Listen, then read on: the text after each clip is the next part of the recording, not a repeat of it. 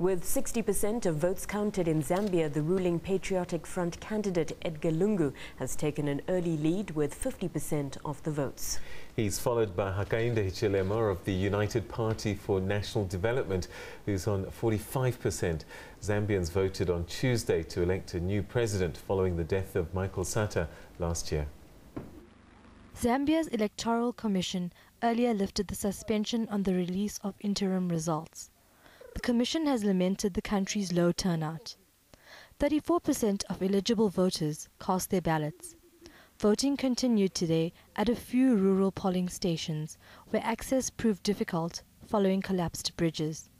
Meanwhile, the SADC mission has declared the election free and fair. The AU says it will only submit a final report after 20 days.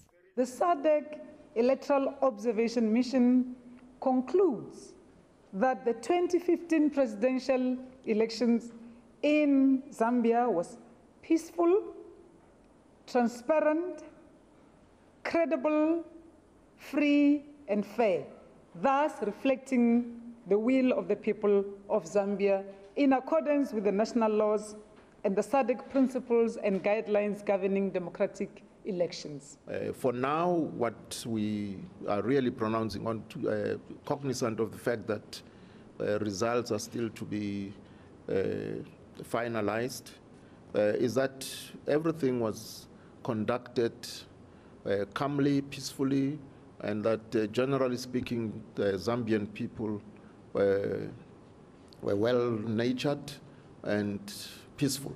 Counting continues. Final results are expected by the weekend.